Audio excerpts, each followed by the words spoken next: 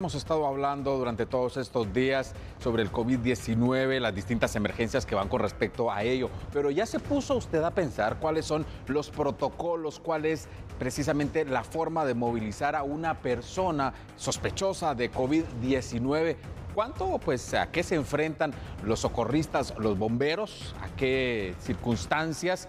¿Cómo deben ellos de protegerse? Y también los protocolos para proteger a la persona. Nuestro equipo, por supuesto, que investiga. Es por ello que me enlazo en estos instantes con el periodista Alfredo Mendoza, quien tiene toda la información sobre el traslado, el protocolo, sobre las personas sospechosas de COVID-19. Él se encuentra con los bomberos municipales. Adelante, Alfredo. Muy buenos días.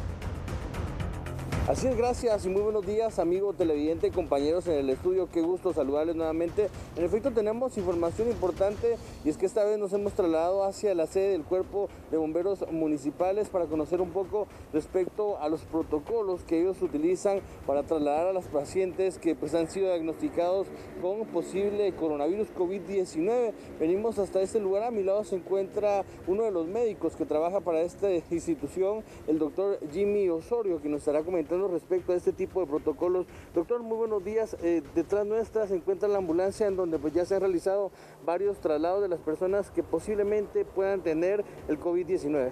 Así es, eh, la Municipalidad de Guatemala y el Cuerpo de Bomberos Municipales han entablado esfuerzos para implementar dentro de la institución eh, cuatro unidades, las cuales están disponibles para la población guatemalteca y brindar por medio de ellas traslados y atención a todos los pacientes sospechosos de COVID. Estas unidades pues se encuentran completamente equipadas, se encuentran asignadas en las diferentes estaciones, alrededor de las 13 estaciones de, que cuenta el Cuerpo de Bomberos Municipales dentro de la ciudad para brindar una atención a cada uno de, de los pacientes solicitados.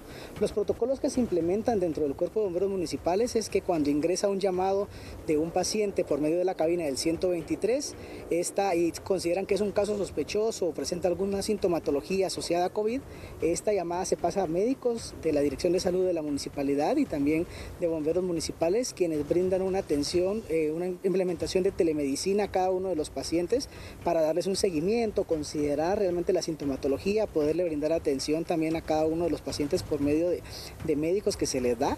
Y si ya se considera eh, una sospecha relacionada con algún nexo epidemiológico a cada uno de los pacientes, entonces ya se presenta el caso al Ministerio de Salud, eh, quienes nos dan la directriz de qué centro asistencial debemos de trasladar a los pacientes. Muchas gracias, doctor. Para ver si podíamos también conocer un poco, pues entendemos que esta ambulancia está totalmente desinfectada en este momento, ya ha funcionado para realizar los respectivos traslados tal vez para que nos pueda explicar un poco acerca de las especificaciones, vemos pues hasta eh, un cierto plástico acá para que nos pueda indicar al respecto. Claro, lo que nosotros tratamos de utilizar dentro de toda unidad es recubrirla directamente eh, con medidas de barrera, las cuales pues permitan de que de ninguna manera el virus pueda estar alojado en esta. Las unidades, tanto antes como después de brindarle la atención a los pacientes, eh, entran por un proceso de, sanitización y descontaminación profunda, basada en protocolos internacionales que bomberos municipales ha implementado dentro, de sus, dentro de sus estaciones y ambulancias que hacen ese tipo de traslados, para que pues pueda tener toda las calidades directamente y garantizar eh, que ningún paciente pues vaya a tener algún contacto con algún virus de un traslado. Estas unidades, aparte de los aislantes que podemos ver ahí, se encuentran protegidas en el material, las camillas, las paredes también de las mismas. Se implementó pues un tipo de cortina para que también el paciente pueda estar aislado dentro de ella y también los productos eh, sanitizantes y descontaminantes que tienen. Eh, dentro de estas unidades tenemos elementos del cuerpo de bomberos municipales que están completamente equipados y capacitados para el manejo de estos temas. Los elementos han sido elementos seleccionados que manejan y son especialistas en los temas de materiales peligrosos.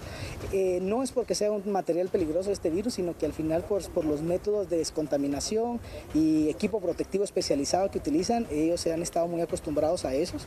Los equipos que utilizamos son equipos eh, que pueden llevarse a reutilizar por las características del mismo, equipos no eh, son impermeables al final, los cuales permiten de que pueda tener dentro de la misma una descontaminación después de cada atención de los pacientes. De igual forma, después de ciertos usos, de acuerdo a las recomendaciones internacionales, esos equipos se cambian también, verdaderamente, porque también llevan un, desgaste de los mismos. Eh, para poder brindar una atención tanto a las personas como para los elementos del Muy bien, doctor. Algo que nos llama mucho la atención y quisiéramos pues, realizar esta aclaración, estas ambulancias son exclusivamente para las personas que presentan eh, pues alguna sospecha de COVID-19, ya que muchas personas pues al, al, utilizar, a requerir un servicio de los bomberos piensan que esas mismas ambulancias van a llegar a todos lugares, estas son pues prácticamente especiales. Claro, en efecto, por eso es que se trata de hacer un filtro por medio de la telemedicina que se hace en la cabina del 123 para considerar si es un caso sospechoso o no. Si es un caso sospechoso, pues ya movilizamos estas unidades especializadas que forman parte del cuerpo de bomberos municipales para la, atención directamente que se le da a toda la población guatemalteca. Si no se requiere o si no se considera que sea un caso sospechoso, va a una unidad convencional que también lleva medidas de protección para cada uno de los elementos, procesos de sanitización y descontaminación. Eso lo hemos implementado en todas las estaciones y en todas las ambulancias del cuerpo de bomberos municipales, pero cuando ya consideramos que es un caso sospechoso, bomberos municipales brinda atención a cada uno de los pacientes en este tipo de, de unidades para poderlo trasladar al centro asistencial que el Ministerio de Salud pues eh, lo requiera, ¿verdad? Gracias, doctor. Eh, importante información que nos brinda el médico Jimmy Osorio del Cuerpo de Bomberos Municipales. Esta es pues, la ambulancia, este tipo son las cuatro ambulancias que están funcionando para trasladar a las personas con sospecha del COVID-19. Es la información que tengo hasta el momento. Regreso con ustedes a Estudios Centrales. Buenos días.